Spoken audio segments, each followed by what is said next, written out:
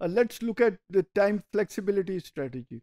Time flexibility strategy is basically similar जो कि हम अभी हमने डिस्कस किया है ओवर टाइम की टाइम uh, फ्लेक्सिबिलिटी के अंदर जो चीज़ हम यूज़ करते हैं उसके अंदर usually we avoid building inventories हम इसके अंदर जो डिमांड है उसके अंदर हम मीट करने के लिए ओवर टाइम अंडर टाइम ये चीज़ें यूज़ करते हैं और उसके बेसिस के ऊपर हम अपना प्लान डेवलप करते हैं। एक्सेस मशीन कैपेसिटी है तो yes we can use that ये जो कैपेसिटी है टाइम फ्लेक्सिबिलिटी की बेसिस के ऊपर ये शॉर्ट टर्म के अंदर हम इसको इंक्रीज कर सकते हैं।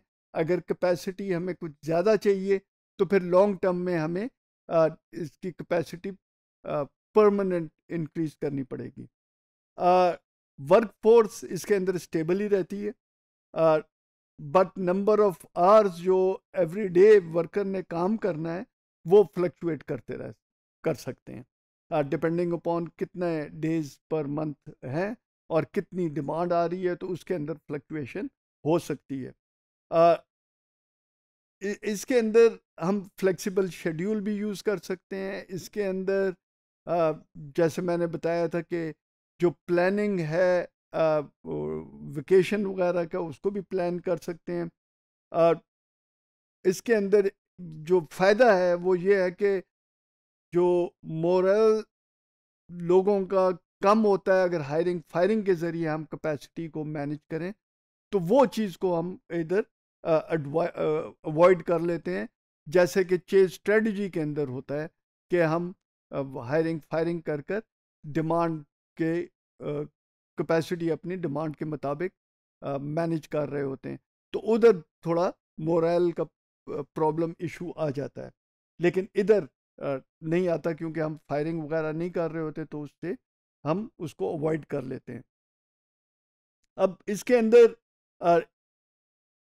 इन्वेंट्री बहुत लो लेवल की होती है बट द प्रॉब्लम इज़ के जो यूटिलाइजेशन है, वो भी लोअर हो जाती है। क्योंकि जब डिमांड कम होती है तो उसके अंदर देन यूटिलाइजेशन जो है, वो भी कम हो जाती है क्योंकि हम प्रोडक्शन नहीं करते।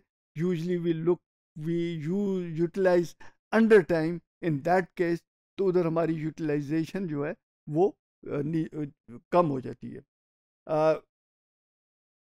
This is good strategy if inventory holding cost is high जैसे कि हमने पिछले केस में देखा था, जो हमने तीन लेवल स्ट्रेटजीज के प्लान डिस्कस किए थे तो उसके अंदर होल्डिंग कॉस्ट बहुत हाई थी, जिसकी वजह से जब हमने तीन को कंपेयर किया तो highest was inventory holding cost वाला प्लान जबकि सब कॉन्ट्रैक्टिंग और ओवर टाइम वाला प्लान जो था, वो रिलेटिवली लेस कॉस्टली था।